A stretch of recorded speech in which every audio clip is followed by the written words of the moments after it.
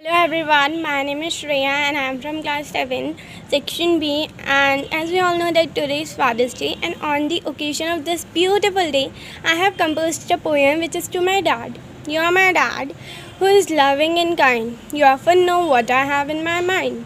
You listen, suggest and sometimes defend me. My dad, you are my first best friend.